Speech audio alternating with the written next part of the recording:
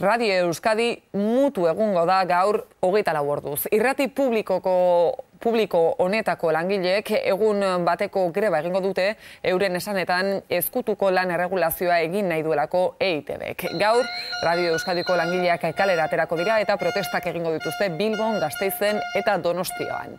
Finkoa ezen kontratu mugagabea duten irurogeita meretzi langileek salatzen dute lan eskaintza publiko berrian berrogeita bederatzi lan postu soilik eskainiko direla eta beraz, hogeita mar postu suntxituko direla.